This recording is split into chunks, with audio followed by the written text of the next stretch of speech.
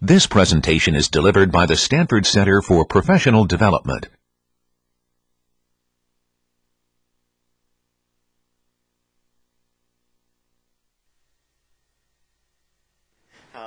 Some sense, that's not a very deep topic.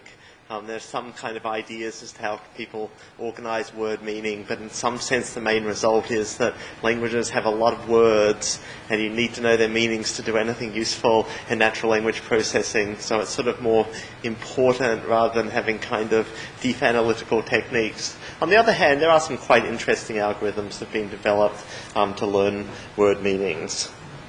So here's my um, warm up question for my very small studio audience. Um, so the word pike, what, what meanings does the word pike have? Fish. Fish, it is a kind of fish, yep. Um, a weapon, yeah.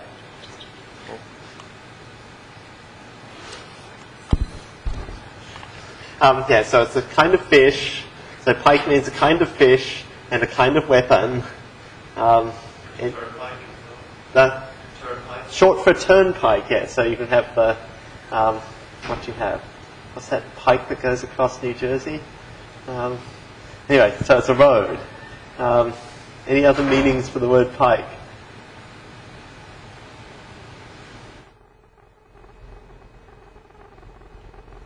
Okay, I did my homework before class. I bet there's at least one more meaning that you would recognize.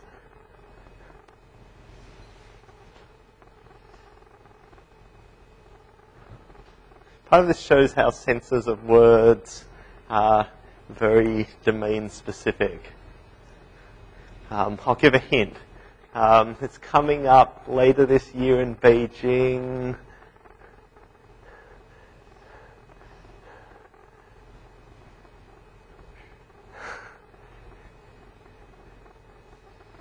In sport, at the Olympics, with the pike. Anyone watch the Olympics ever? Um, wrong audience. Um, so in diving and in gymnastics, you have a pike as a kind of dive. People know that? Yeah, yeah. Some people have admitted that they do know that meaning. Um, um, as an Australian, it turns out that there's also an additional meaning of pike, which is used as a verb, which means to um, kind of, um, whatever, kind of withdraw and not follow through and doing things. People say something like, um, he was going to come for beer, but he piked, um, meaning that he you know, decided not to go. Um, but I don't expect you to know that one, but um, that again shows that often there are lots of um, dialectical and register uses of different words. Something that's also kind of vaguely interesting is just, well, how do all of these meanings come to be? I mean, it turns out that most of those meanings do actually have something to do with each other historically. So supposedly, the Oxford Dictionary tells me that the fish, the pike, was named after the weapon because it has a kind of a pointy head like the weapon, the pike. And, well, it turns out that the turnpike is kind of named after that sort of staff shape as well with roads, with when they let people into them, when they have those kind of turning things. So that, you know, there are kind of historical reasons often why words are related. Not always, sometimes they just come together by chance. Um, but that doesn't mean that the people who use these words know all of that historical stuff. And in fact, quite often what happens is that people um, will generate what are called folk etymologies, where because things have the two name, they'll assume an, a story as to how the two things are connected, where they may not actually have any um, connection. Okay.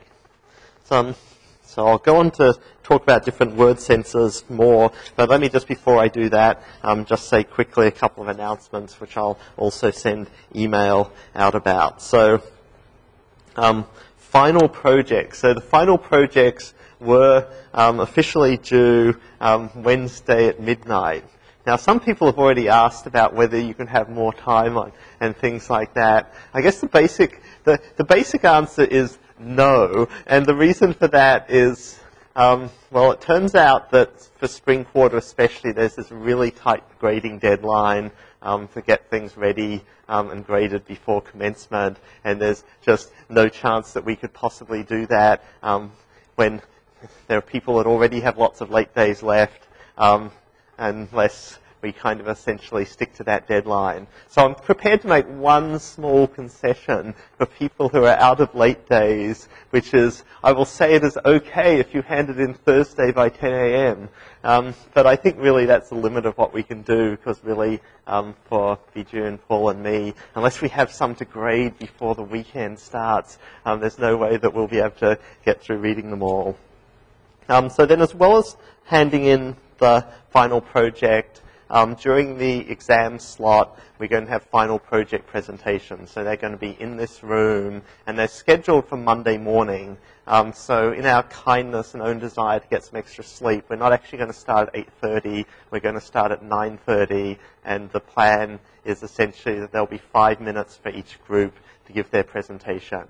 And I mean, in general, this has been um, quite a fun thing to actually see what different people have been working on and have been able to achieve. But it's also a mandatory thing that we expect at least one person, and preferably all, from each group um, to turn up to the um, for the final presentations.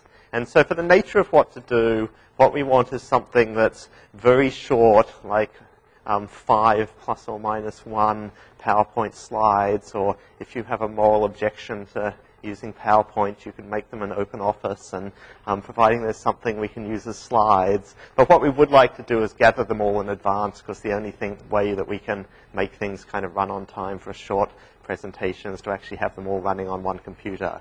So essentially, what you should be aiming to do is have an elevator pitch style presentation where effectively there's a slide saying what's the problem that you're working on, there's a slide that says something about the methods that you used.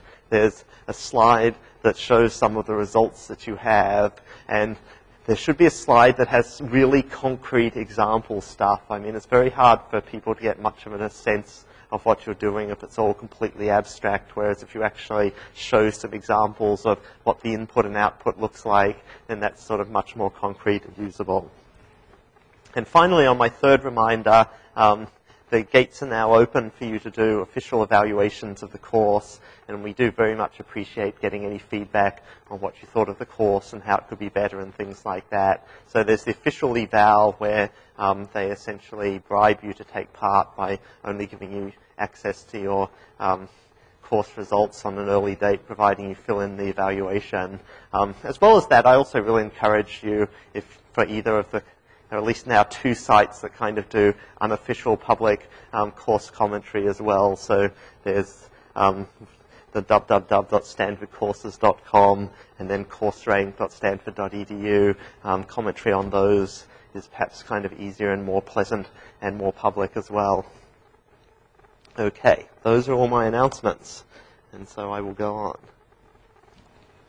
Okay, um, yeah, so lexical semantics. So it's, it's completely obvious that, you know, you can't, you can have all of, we spend a fair while doing compositional semantics, and you can have all the clever compositional semantics that you want, but you can't actually do anything unless you actually know what words mean. And in fact, um, going from the other direction, many people would argue that for sort of practical natural language applications, that lexical semantics is largely where it's at, that most of what you need is knowing meanings of words and some of these subtle issues of how meanings combine are sort of really either not so commonly needed or rather beyond the state of the art of our natural language applications anyway.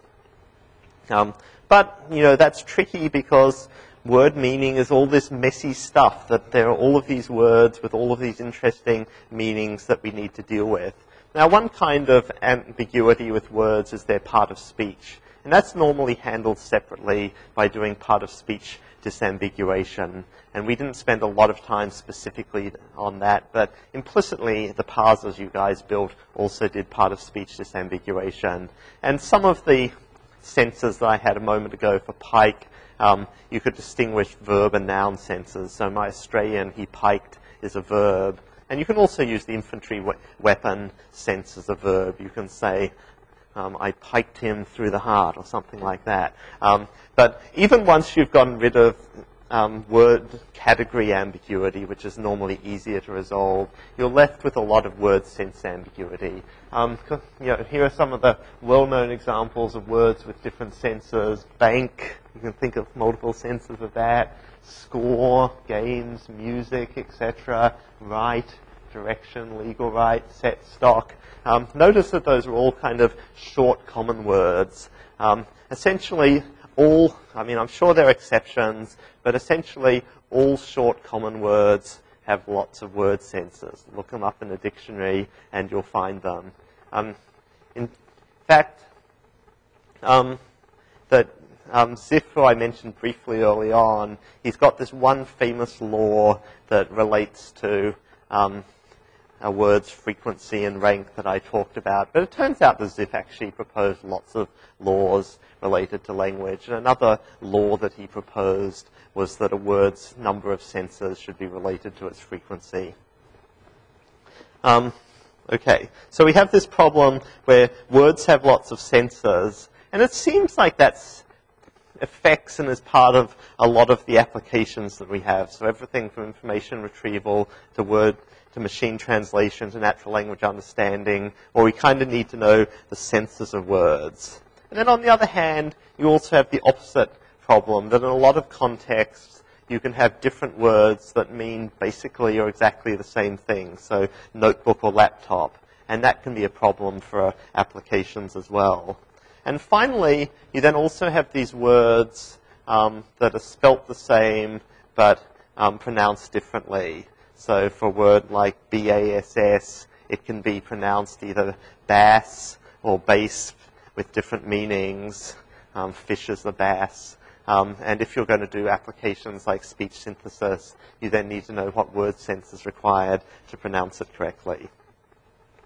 Um, here's an example of a lexical entry for the word stock which comes from LDOCE. So LDOCE was a pioneering dictionary that was done in the late 1980s in the, in the UK. And so LDOCE was essentially the first dictionary that was created by people making electronic corpora and actually looking at what was found in the large corpus and arranging the dictionary based on appearance and frequency in a corpus. LDOCE was also the first dictionary where the publishers were willing to make it available to researchers for less than a truly extortionate amount of money. And so if you go back in the history of computational linguistics, all of the early work with machine-readable dictionaries was done with LDOCE.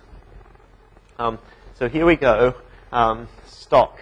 A supply of something for use, a good stock of food, goods for sale, some of the stock is being taken without being paid for, the thick part of a tree trunk, a piece of wood used as a support or handle, as for a gun or tool, the piece which goes right across the top of an anchor um, from side to side, a plant from which cuttings are grown, a stem onto which another plant is grafted, a group of animals used for breeding, farm animals, usually cattle, a family line, money lent to the government at a fixed rate of interest, the money owed by a, owned by a company divided into shares, a type of garden flower with a sweet smell, smell, a liquid made from the juices of meat bones.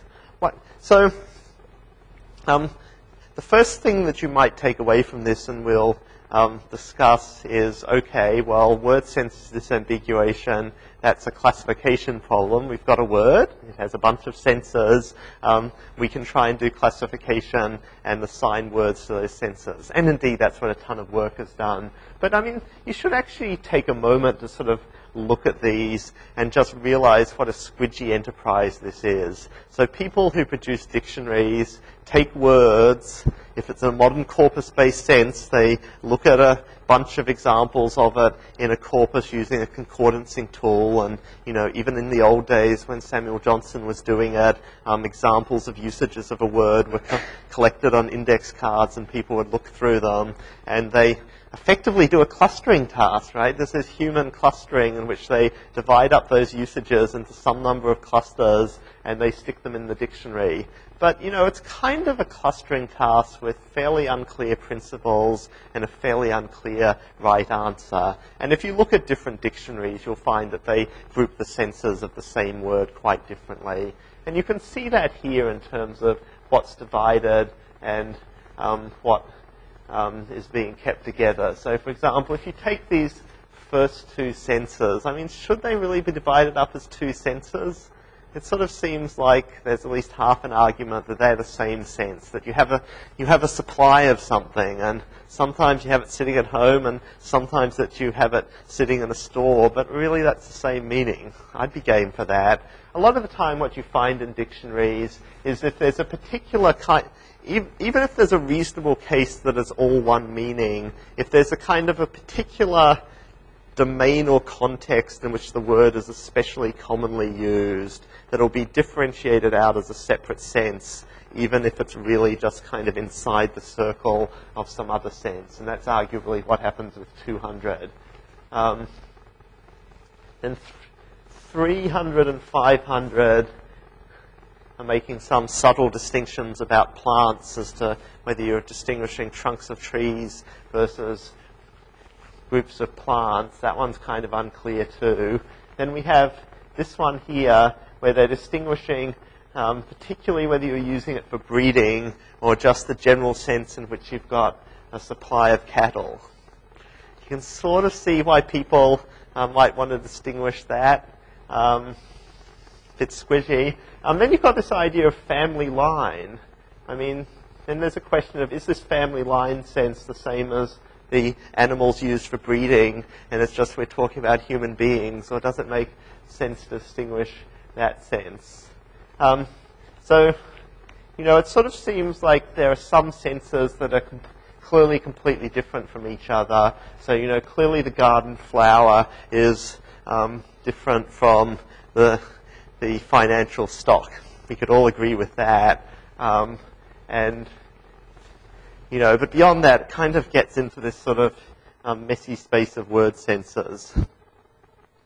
Okay. Um, maybe I've sort of said most of that. Okay. Um, yeah, so I've sort of said some of this as well, but I'll just make this one distinction. So sometimes people distinguish between polysemy and homonymy, where homonymy is when you have two things, two lexemes, which are written the same but just have nothing to do with each other, that they're just chance that the same word is used for two things. So the most famous example in the world of that, in the linguistics world, is bank. Side of a river, financial institution, got nothing to do with each other. They just happen to both be called bank. Um, and that's then distinguished from polysemy, where you have a word that has various senses of a meaning, but they're not completely unrelated to each other. They're somehow connected with each other. And so some of the senses for stock, I think we were seeing that. So the supply and the supply in a store, they seem to be related to each other. Some of these different senses with the cattle and the um, person's bloodline, they seem to be related to each other. And essentially, if you start looking at meanings, most of the cases where you get various meanings for words are in that second category. And that's because, as I mentioned in another class, that by and large, the way human language operates is people extend the meanings of the words by using metaphors. And so you have something like foot well, what can a foot be? If you look it up in the dictionary, um, it tells you it can be one of these things, but it'll also tell you another other meanings for a foot are things like the base of a mountain or the base of a column and things like that. Well, where do those other senses come from? They fairly transparently come from metaphorical uses where people are extending the notion of foot at the bottom of things to other uses. Um, and I won't go through the syntactic tests. Um, people have sometimes argued for a fairly strict distinction between homonymy and polysemy. I kind of suspect in practice it's hard to maintain, though there are certainly clear examples at both ends of the spectrum. Okay, and then in the opposite direction, um, we have synonymy. So the idea of synonyms when you learn it in school is that synonyms are pairs of words that have the same meaning. Big, large synonyms. Um, the problem is, if you actually get into the details of synonymy, there are almost no words that are truly synonyms. In fact, there are some people who've argued that there are no words that are truly synonyms. And so the idea of that is, um, if you look up um, Roget's thesaurus, best known listing of synonyms, that you'll find sets of words in the thesaurus like obliteration, erasure, cancellation, deletion. Well, they all do have something to do with each other, that's clear. They all have this sense of getting rid of something that was there. In some sense, they're synonyms. But if you then start thinking of some of the contexts in which you'd use those words and you start trying to substitute them, it basically doesn't work at all, right? So the flight was cancelled, um, and if you change that to the flight was obliterated, that sort of means something different. Um, the flight, the flight was erased. Um, not quite sure what that means. Um, the flight was deleted. That maybe is just about passable as a synonym for the flight was cancelled, but it's clearly not what it's not what regular people say. Um, someone would look at you strangely if you said that the flight was deleted. Okay, so as well as having word sensors and synonyms, you can also think of words as being organized into a hierarchy or a taxonomy. Um, and the standard representation, which you know old-fashioned computer scientists might think of as an is a hierarchy gets called in lexical semantics as hyponyms and hypernyms, which are going in opposite directions in a lexical hierarchy. So um, cars are kind of vehicle, dogs are kind of animal, um, etc.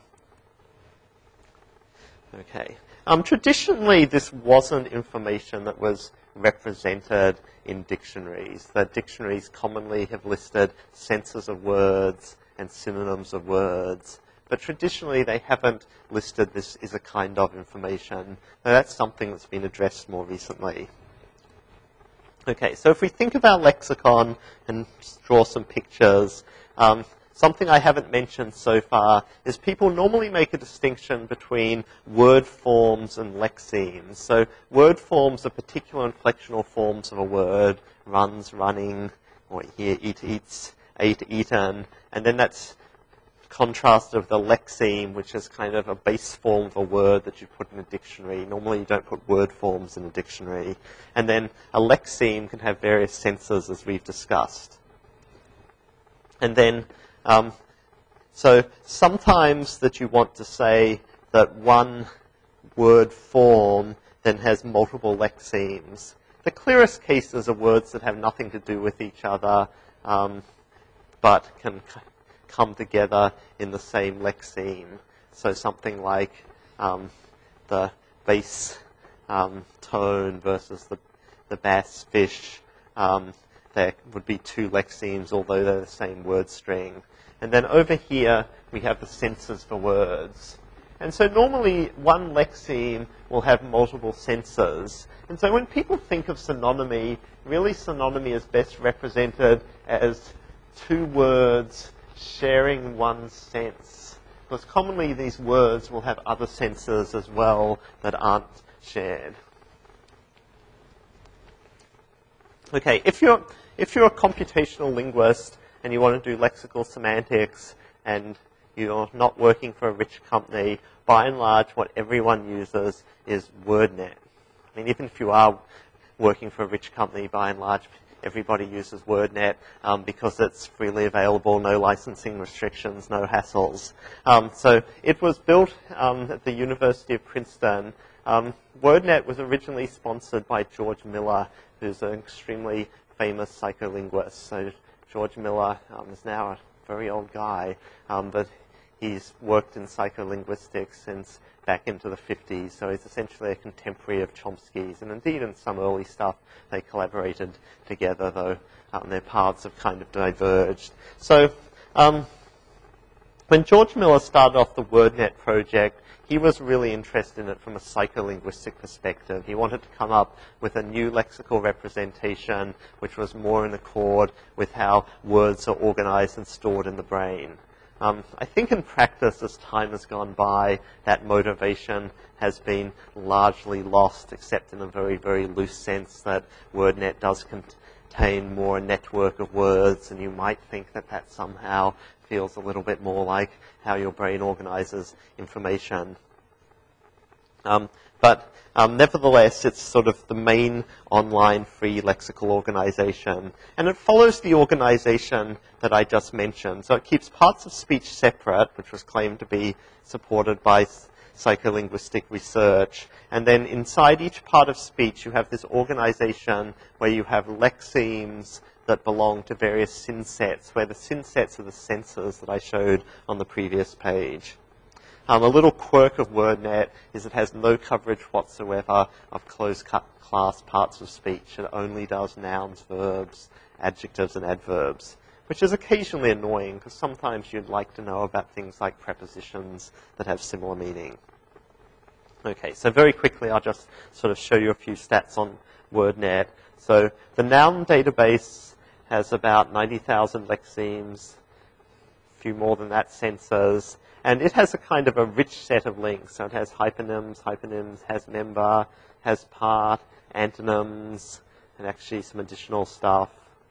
Um, and so in the organization, when you have these synsets, the synsets are effectively groupings of words which are claimed to have one sense in common. So chump, fish, fool, gull, mark, patsy, fall guy, sucker, um, etc. You know, many of these words have many other senses, such as fish, um, but they're claimed, I'm not really familiar with this sense of the word fish, I confess, but they're claimed to all have um, this sense of somebody being a sucker.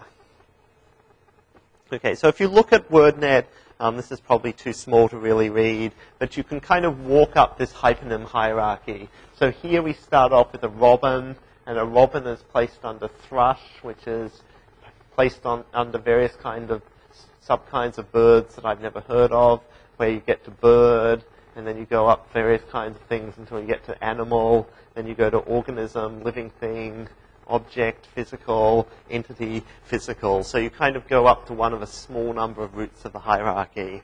And so in general, the organization of nouns is very elaborate, and in areas like natural kinds like this, it's especially elaborate and stores tons of stuff that actually regular human beings don't actually know. They've had too many biologist interns filling it in.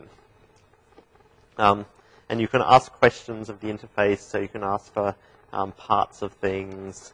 Okay, when you go to verbs and adjectives and adverbs, the structure isn't as rich. So the number of verbs is just much smaller. That's just a fact of English, that there are kind of only about 10,000 verbs in English. There aren't a huge number like nouns. But the organization you get is you still get hyponyms. Um, you get kind of related things, um, walk, stroll. You have entailment relationships and antonyms. And then for adjectives and adverbs, you basically only have antonyms in the organization. Okay, so WordNet's online. You can play with it online. Um, you can download it. And that's my um, tour of lexical organization. So for the rest of the time, I then want to talk about some of the things that people do in the domain of computational lexical semantics. And the thing I'll spend most time on is word sense disambiguation of trying to find out the senses of words. But then I'll spend a bit of time at the end talking about word sense working out word sense similarity and other fun things you can do in lexical semantics. Okay. So the task of word sense disambiguation is to find out what sense of a word is intended by the context in which it's used. So if we take these examples here, the seed companies cut off the tassels of each plant, making it male sterile. There, a plant is a living green thing. Um, Nissan's Tennessee manufacturing plant beat back a United Auto Workers organizing effort. Um, their plant is in the sense of industrial factory. Um, and well, you can sort of see here already um, what we need to do. We need to do this categorization task to work out which sense is intended in context um, to help with various applications. And what kind of information can we use? Well, one source of information we could hope to use is just prior information. And if you're kind of naive and think, um, plant, that means a green thing most of the time. Well, that's a form of prior information. It turns out that if you're getting your sentences from Newswire, as these sentences are, that's actually the wrong prior. If you look in Newswire, it's far, far more common that you actually get examples of this um, industrial plant sense than leafy green things. But then the other source of information is, well, kind of looking around you. Manufacturing plant, um, that's suggestive. Um, seed companies, tassels, that's suggesting something. So we should be able to use the context to be able to do things. And normally, this has been done as a categorization task, which is a supervised learning task. It's also sometimes done as an unsupervised clustering task. And normally, if you're doing that, you're settling with just doing a kind of a word sense clumping. Okay, um, I'll take a quick detour into the history of the early days of word sense disambiguation, which is kind of a little bit interesting. Um, so the same Warren Weaver who I quoted before as initiating all the work in word sense disambiguation, he immediately noted um, that word senses are going to be a problem for machine translation. So he noted, a word can often only be translated if you know the specific sense intended. A bill in English could be a pico or a cuenta in Spanish. And so then in the early days of machine translation, one of the very prominent people in work in machine translation was Yoshua Bar Hillel. And Yoshua Bar Hillel actually focused in on this problem of word sense disambiguation. And he posed the following problem. Look at this little text. It's really a toy text. Little John was looking for his toy box. Finally, he found it. The box was in the pen. John was very happy.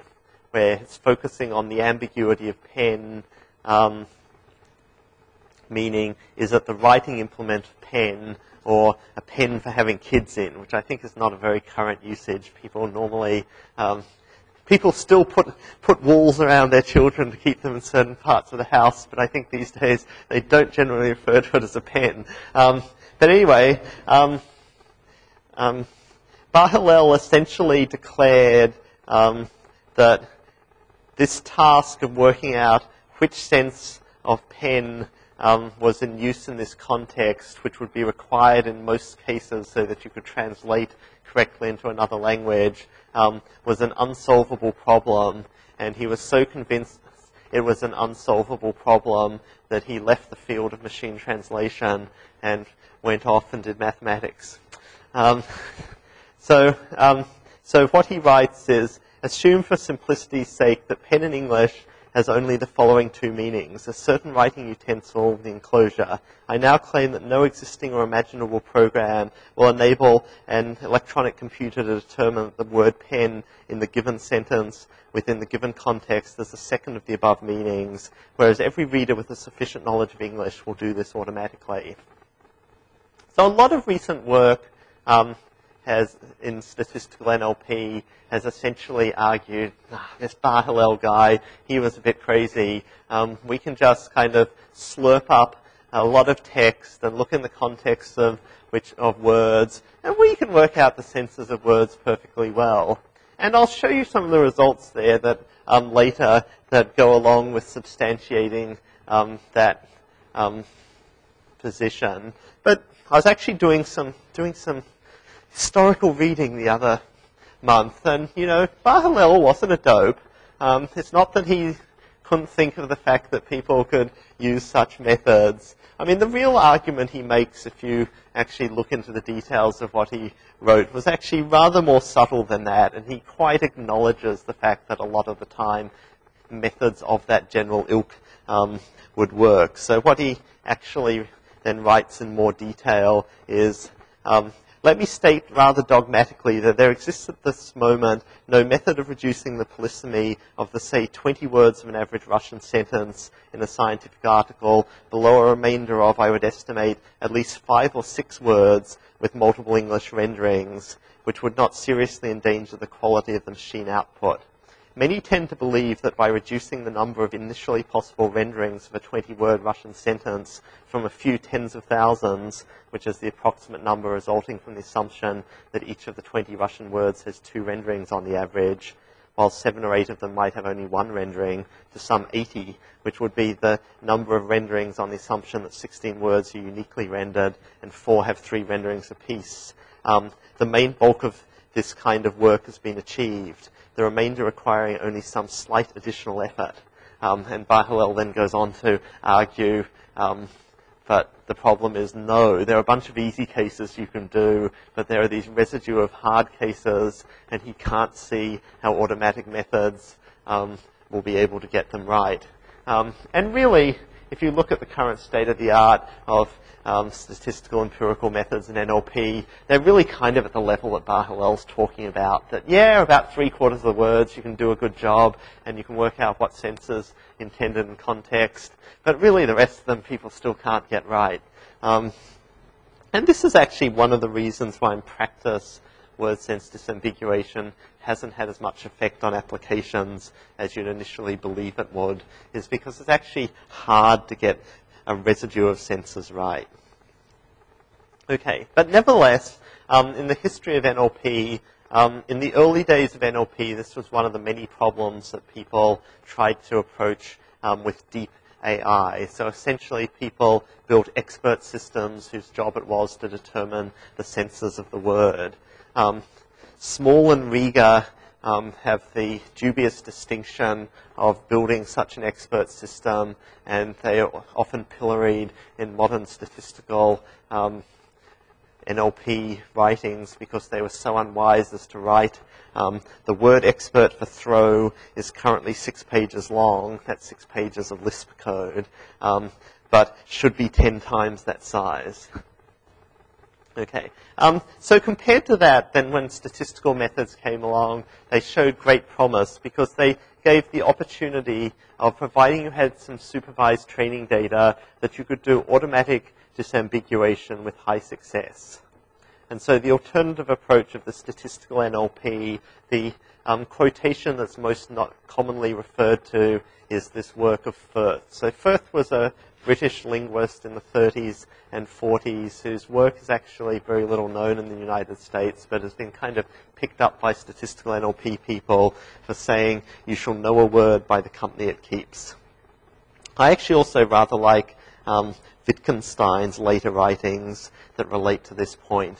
And he writes, you say the point isn't the word, but its meaning, and you think of the meaning as a thing of the same kind as the word, though also different from the word. Here the word, there the meaning. The money and the cow that you can buy with it. But contrast money and its use. Well, I don't actually know what that means, but in another passage he says something more understandable. Um, he says, for a large class of cases, though not for all, in which we employ the word meaning, it can be defined thus. The meaning of a word is its use in the language. And so Wittgenstein's later writings is attributed with advocating for this position of a use theory of meaning, where the representation of a meaning of a word is just the context in which it appears. And the knowledge of the meaning of a word means that you know um, which context, you know, effectively you do a closed task, if you've seen that in psychology, that you can correctly say whether a word is, a, is appropriate in a particular context or not. Okay, so if you're if you're going to do supervised um, word sense disambiguation, you need some training data to use. And so these are just some of the training data that's out there. Um, is perhaps the largest contiguously annotated collection. So it's part of the Brown corpus with all words that are in WordNet, i.e. all content words annotated for senses. There's a smaller um, DSO corpus from Singapore that's similar. And then there, I'll say more about SenseVal later, where they've evaluated various both lexical samples and continuous text for senses. Of course, like a lot of these things, there's a small amount of annotated data, and then there are humongous amounts of unannotated data, and so that's why a lot of people are interested in how can you use more unsupervised methods. Um, so this is kind of what you get in SemCor. So this is a boring piece of construction text um, that's talking about um, something uh, slipped into place across the roof beams, and it's giving the sense of words like slip place, roof beams in terms of WordNet sensors. Um, so how can you do um, word sense disambiguation? One kind of approach that doesn't require supervised data that I should just briefly mention is using dictionaries. And the method that's most commonly cited is Lesk's method. Um, this is Mike Lesk, who you might know from other contexts like information retrieval and digital libraries. Um, so the Lesk algorithm was essentially that you get definitions from a dictionary and you use a word overlap measure in the definitions and use that to attribute senses. So suppose I want to disambiguate the words pine cone.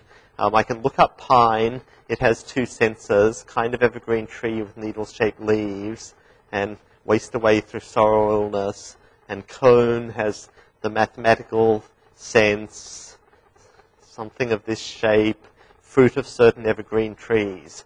I can just look at those two senses, and at least if I've reduced them to lemmas, I chopped off the plural ending, I can see, look, sense one of pine and sense three of cone, they overlap in the words evergreen tree, and therefore I will disambiguate both words successfully. Um, another huge source of information is just to go with frequency. I mean, notwithstanding what I said about the different senses of plant and priors being potentially misleading, it turns out that for most words, at least relative to a particular um, text type, that their usage is just extremely, extremely skewed. Right? So a word like cell with a C, C-E-L-L, has a bunch of different meanings, but if you're reading any biology journal, boy, is it skewed what sense that you're going to get. If you're reading Newswire, the word plant is extremely skewed. It's about 10 to 1 what sense you're going to get. Um, so if you can just use what is the most common sense in the genre, that's a very, very strong source of information. And a particular instance of this um, is what you see in a lot of the literature is the WordNet first sense heuristic. So in general, the senses of WordNet and their ordering don't mean anything in particular, but there's been an effort in WordNet to put first the most common sense of a word in some kind of generic, non-domain specific um, sense. And it turns out that if you're dealing with rare words for which you have very little training data, which is a lot of words most of the time, that this WordNet first sense heuristic turns out to be just a very strong baseline. It's very hard to outperform it. So that there are many word sense disambiguation systems which essentially work on a system like if you have more than, say, six, ten training examples, you try and train a classifier. If you have less than that, you just go with the word sense first sense heuristic. Um, but clearly, if we want to do better than that, we want to use context, like in my examples for plant, to differentiate what's um, correct. And there are various senses of context. There's a traditional linguistic sense of context, which I'll just mention quickly, which is selectional restrictions. This is the kind of technology that was used a lot in things like Small and Rieger's, AI-based um, word experts. Um, so the idea is that you have nouns that are connected together with verbs, and verbs for their different senses have selectional restrictions. So eating, the things that you eat are a food stuff. Driving, the things that you drive are vehicles. And so if you see sentences like, which airlines serve breakfast, you know that breakfast is a kind of food, so that must be the sense of serve of handing over food, whereas if you say, see which airlines serve Denver, you know that Denver is a city, and so that means it must be the sense of serve, that there are routes to it. So you can disambiguate both nouns and verbs in that way. Um, often very hard to get much mileage from that for all sorts of reasons. One of the reasons why fairly deterministic methods of doing this, like these expert systems fail, is that there are all sorts of creative usages. So in his two championship trials, Mr. Kulkarni ate glass on an empty stomach, accompanied only by water and tea. Um, well, there's someone eating something that wouldn't normally be called a foodstuff. Um, but, you know, classic, a lot of the information you have isn't classical selection or restrictions. Commonly, if you just know the topic of the article, that's worth a lot to you. Um, and so that led to kind of modern statistical work in computational linguistics. In the starting off of um, statistical methods and computational linguistics, there are essentially two key endeavors. One was the machine translation work that started at IBM, and the other of which was work done at AT&T Labs, largely led by Ken Church. And essentially where they started is doing word sense disambiguation. But actually they were doing word sense disambiguation for the purposes of machine translation. And so the method that they used was naive Bayes classifiers, which at that time counted as sort of something very new for most of the computational linguistic AI community. So you have a prior probability of a sense, um, and then you have um, the probability of a context given the sense, and the context probability is just being estimated by taking the probability of different words occurring in that context where the words are just being modeled as a bag of words. So you've got some context window, and you're just generating all the words in that context as a multinomial classifier. Um, so, I mean, actually, yeah, their application was machine translation as well. And so, uh, one clever way of getting training data for word sense disambiguation, which is also application relevant, is actually to use parallel data. Because if you're doing MT, you want to learn about word senses that get translated differently, and you don't really need to learn about word senses that don't get translated differently. And so they were taking English words that have different translations in French. So here's drug. It's two translations of the sort of the good medical well, I'm not sure how you want to define them, illicit drugs, licit drugs, um, and then you're kind of, they're getting examples based on how it was translated. Um, okay, and so they can learn good clues for the different senses of drug in English. That's kind of what you think if you see words like prices and patent and consumer, that's the medication. If you see words like paraphernalia, trafficking, that's the illegal substance. Um, so people were extremely, extremely impressed because they um, showed ex- just extremely good results um, from doing this for these kind of word sensors. So results of over 90% accuracy. But an important thing to notice is that um, these results are for distinguishing two extremely distinct senses of a word. Now, in some sense, um, you might say, well, actually, this is the main task um, that I want to deal with. I'm not really interested in some of those fine-grained sensors. I only want to know about coarse sensors of things that translate differently that are really important. And I think the answer is that you, in a lot of cases, for those kind of cases, you can get high accuracies in word sense disambiguation. Nevertheless, the funny thing that's happened in word sense disambiguation is a lot of more recent work has shifted to looking at much more fine-grained sensors of the kind found in places like WordNet. And so the accuracy has then kind of gone south because if you're trying to distinguish 10 different senses of the word stock of the kind that we saw beforehand, some of which are very similar to each other, that's a way more difficult task and you get much worse results. Okay, there's been a ton of um, other work um, on word sense disambiguation including um, bootstrapping methods to reduce data. Um, I won't go through that in detail. I'll just mention a couple of things down the bottom here. Um, these were two principles suggested by David Yarowsky. Um, these two are kind of related, so I'll do this one first. One sense per discourse was his claim that in general in a discourse, i.e. a piece of text, an article or something, you'll only find one sense of a word.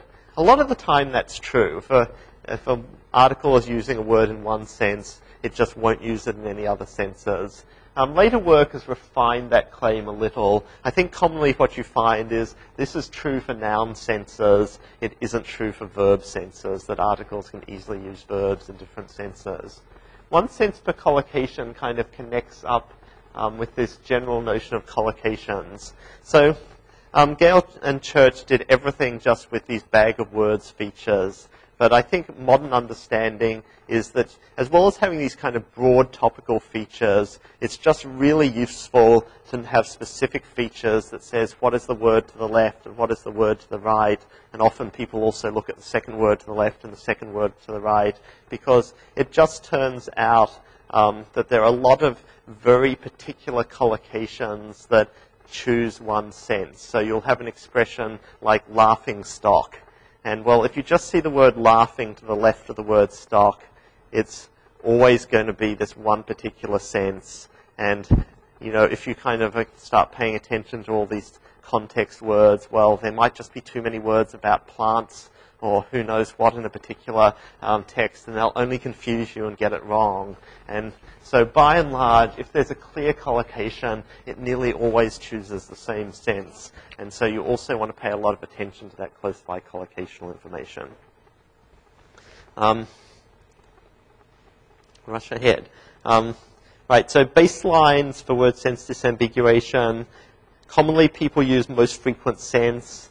Sometimes people regard Lesk method as a baseline, upper bound, how much humans agree. Um, so rigorous evaluation of word sense disambiguation for these sort of many subtle senses has taken place in SenseVal.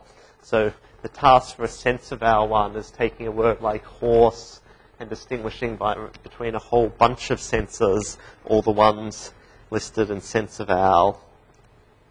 People have done that both for all words and for lexical sample. I'll just show you the lexical sample results. So the lexical sample results are essentially on difficult words that have many senses. So average number of senses in WordNet for the words that were tested was nine. So that's kind of um, these subtle many sense in WordNet words, where often many of those senses are related together and hard to tell apart. So these are the kind of results you get. Um, you probably can't read it well, but down here it says Stanford CS224N because um, many years ago we used to use word sense disambiguation as one of the projects. Um, and then um, me and a couple of others took all the um, CS224N WordNets word sense disambiguation systems and tied them together into a classifier combination and entered into SenseVal. And we actually did pretty well because we were able to come in fourth place doing that. Um, the main subtlety in the work was in the classifier combination because it turns out that not all the students' systems were as good as others. And so rather than it being kind of standard bagging and boosting methods where you assume that your base level classifiers um, were uh, sort of of the same general standard. Um, a lot of the art here was working out which student systems um, to not use um, for judging particular words. Um, so the final system used between 3 and 11 student systems depending on the word. Um, but I digress. Um, so the best performance here was 64% accuracy, and Stanford was doing 61.7, close to that. Um, so, you know, the positive result there is how state-of-the-art the systems that we produce in CS224N are, um, but the negative result is in some sense, at least for this task of trying to recover WordNet senses, it's really, really difficult and people can't do it. But I think many people now believe that this just is too hard a task and a kind of an uninteresting one because a lot of those fine senses might not matter much. Okay, so then let me go on and um, touch a couple of other topics. So, I mean, there's been lots of interest in lexical acquisition of how can we then kind of acquire something about the meaning of words. And one way of understanding word similarity is again to go straight to our thesaurus. We could go to WordNet and say, well, can we work out meaning similarity in that? And I think I'll kind of quickly skip past that. But the general idea is if you have an ISA hierarchy, um, here's part of the ISA hierarchy from WordNet, we should be able to tell that words are similar. So nickel and dime should be similar, nickel and coin and dime are similar, that we have this kind of similarity measure. And people have defined a whole bunch of similar word sense similarity measures over WordNet, and they're quite widely used for many tasks. Um, but there are lots of problems with that. One of the biggest problems is coverage. Lots of stuff you just won't find in WordNet. And so here's some kind of a list of words you don't find in WordNet. Okay, so an alternative is to come up with a representation of word meaning and word similarity that you can induce much more automatically. And so this leads into the area of vector space-based lexical semantics. There isn't only vector space-based lexical semantics. There's also been quite a bit of recent work in doing um, probability simplex-based lexical semantics. But for what I'll say today, I'll just say a little bit about vector space-based lexical semantics.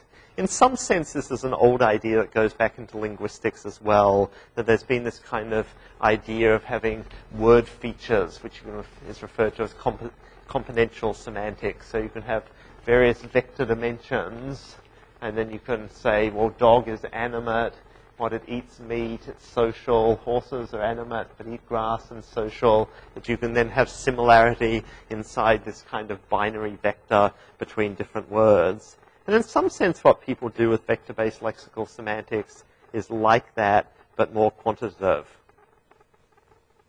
Okay, so the general picture for vector-based lexical semantics is um, you have some properties which are normally distributional properties, so you can learn it unsupervised from a lot of data. Um, you turn each word into a vector, and then if you only want to do word similarity, you just use those vectors for word similarity. And if you want to create clusters of words, you then perform some kind of clustering. Okay. Um, and one of the interesting things is there's then been quite a lot of psycholinguistic work that's then picked up on some of these distributionally specified lexical similarity measures. And there's actually kind of quite good support in general can be found between what you can find by defining lexical similarities over a lot of text in a kind of meaning as use sense and what you find from human experiments on lexical similarity. Okay, so um, the most standard thing, this is kind of um, word association 101, but actually works very well and is in a sense the basis of what most people use, is that you define the meaning of a word just as Wittgenstein or Firth said by the company it keeps. So you make a big matrix of words versus words and you count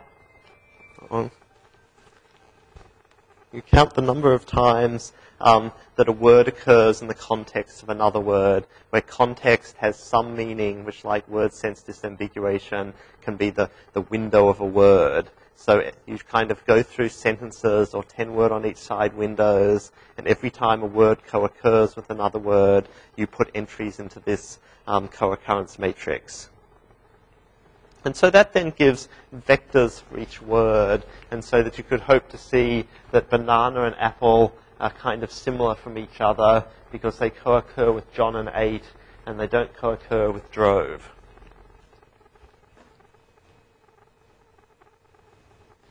Okay.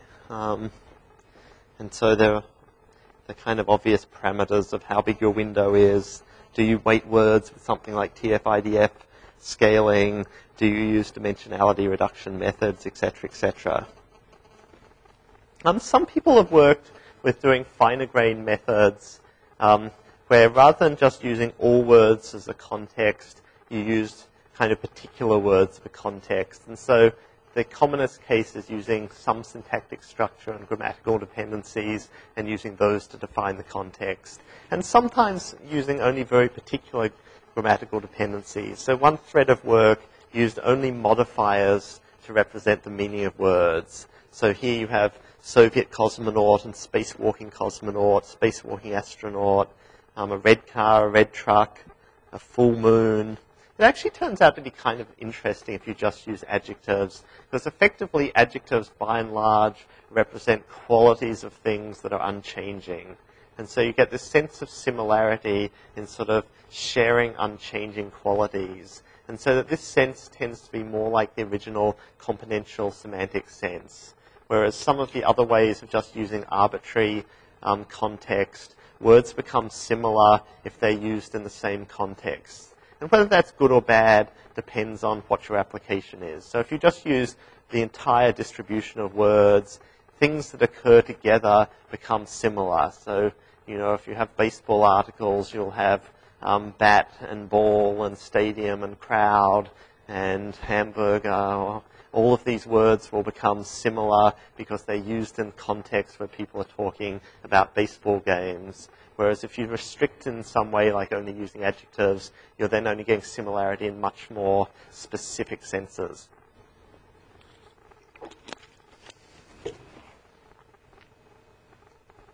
Okay, so once you have some word vectors, um, you can use similarity measures. The traditional ones are using cosine or Euclidean distance, which is equivalent, um, providing you're normalizing your vectors to be unit vectors. There's then been some threads of work which actually suggest that you don't do as well with these measures, and you do better with measures such as an L1 measure or some of the various probabilistic measures that have been used. I mean, the sense of that seems to be that the kind of squaring operations that you're using in these measures don't actually make terribly much sense if you're thinking about word count data and that you're doing better with something like an L1 metric. Okay. Um, so here's just an example of the kind of results you get out of that. So this is um, the Burgess and Lund model, which was used for psycholinguistic purposes. Um, you know, 160 million word corpus um, context from 70,000 most frequently occurring words. It's commonly the case when people build these models that for counting things in the context, you only use some number of common words. I mean, that's just kind of a crude way of stopping your matrix getting too huge, and in practice doesn't really affect accuracy because unless you've seen a word a bunch of times, it's not really very useful as a context clue. Um, cosine, 10 word window. And I mean, they're kind of pretty good, the lists they get out. So frightened. So this is saying for the word before the colon, what are the most similar words to it? So scared, upset, shy, embarrassed, anxious, worried, afraid, harmed, abused, forced, treated, discriminated, allowed. Um, Beatles, original band, song, movie, album, songs, lyrics, British. Um, this is typical for what you get from distributional similarity, right? The, this is kind of all good as topically associated with Beatles. This is just general distributional similarity. Um, the word most similar to frightened is scared. That's good. But then a couple after that kind of aren't quite so good, right? Upset and shy don't seem, I mean, they're kind of emotions that are negative, but they're not so similar um, to frightened. And it seems like really you'd be better off if you could have gone afraid and anxious and worried higher up the list. Um, so it works reasonably, but it's hard to get results that are perfect. Another very, very, very well-known form of doing this distributional similarity is um, Landauer et al.'s latent semantic analysis, which is then using SVD to do dimensionality reduction of your vector um, and then doing similarity in the reduced space. And the claim is, and I think the claim is um, somewhat true, um, Landauer sometimes makes some very, very strong claims for LSA, which I think aren't really true, but the, a weak claim that you commonly can get some mileage from doing dimensionality reduction in measuring word similarity, I think is true. Okay. Um, okay. Um, so that's a kind of a general method of sort of just taking this sort of soup of words and working out word similarity. Um, before time runs out, I thought I'd then just sort of say something about a rather different way of doing sort of unsupervised. It's, it's, it's a sort of learning that you can do over large amounts of text at any rate um, that has also been explored, including by a st- student at Stanford, Rion Snow, which is trying to do a much more specific form of learning over large amounts of text. Um, and so the idea here is what we want to learn is about new hypernyms. So new is a kind of links. And the motivation for this is you know, we can't just use WordNet for our is a kind of links because it just doesn't have very good coverage when it comes down to it. So if you sort of look at something like these normalizations, like custom, the ability net normalizations, some of them are in WordNet, combustibility and navigability, but other ones like affordability, reusability, and extensibility aren't in WordNet and th- those are words that everyone knows. So can we learn hypernym relationships automatically? And this was um, a field that was essentially pioneered by Marti Hearst, who's at Berkeley. And what her observation was is that there are just lots of sentences that essentially tell you hypernym relationships. So rather than trying to do some very, very clever form of distributional similarity with some kind of statistical filtering, getting high quality re results from that. Why don't we instead go for a high precision approach and run it over vast amounts of text and essentially just look for the sentences that tell us about hypernym relationships or tell us about synonym relationships. And there are lots. So here's a sentence. Agar is a substance prepared from a mixture of red algae such as gelidium for laboratory industrial use. Well, what is gelidium? It's a kind of red algae. How do we know that? Well, the sentence tells us um, with a such as phrase that gelidium is a kind of red algae. So maybe we should just look for those sentences. And so what Hearst did was um, just hand wrote patterns that would find examples of those things. NP0s such as NP1, NP2, and or NPI, um, those are hypernyms. Um, and so she wrote a handful of regular expressions. Um, I seem to only have five on this list, but I remember there are six um, that were kind of obvious um, ones. So there's X, Y, and other um, things. So temples, treasuries, and other important civic buildings. The such as ones, um, including all common law countries, including Canada and England, um, and especially um, animals, especially cats and dogs. And so she ran that over a lot of text and learned patterns quite successfully. So more recently, um, Rion Snow has been trying to do that in a less hand-specified, more machine learning-based way. So what he's doing is parsing up sentences to give dependency parsers like this, and then potentially saying any path in the dependency parse could be a pattern for learning examples of things. So if I have a pattern like this one between oxygen and element, that's a potential pattern, and this pattern between abundant and oxygen. That's a potential pattern. And I want to learn patterns that are good indicators of things being a hypernym. And well, how will I bootstrap this? I'll bootstrap this by using known hypernyms from WordNet, and then I'll try and acquire other hypernyms. And so he can represent the kind of patterns that Hearst had effectively by paths through dependency graphs. So um, y such as x, you'll have the y, and then you'll have the such as prepositional relationship leading to the x. Um, okay, so this is the details of their algorithm. So they collect a huge number of noun pairs. They find positive and negative examples of them being hypernyms using WordNet. Um, they parse them all. They train a hypernym classifier. Um, um, turn it into a logistic regression with plus and minuses um, for whether they're good patterns or not. And so they um, discover a whole bunch of patterns. So um, here's a cold pattern, heavy water rich in the doubly heavy hydrogen atom called deuterium. Um, here's a new one, and a condition called something. So in total, you know, they define 70,000 patterns um, that are automatically defined. The question then is how good are these patterns? And um, that's the graph over here. So um, this is um, a recall of how applicable the pattern is.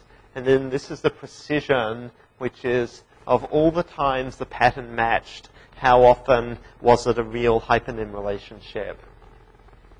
And the kind of interesting thing is um, that these red marks show the patterns that were the hand-specified Marti Hearst patterns. Um, so Marti Hearst, she thought through it correctly, or maybe did a little bit of corpus research.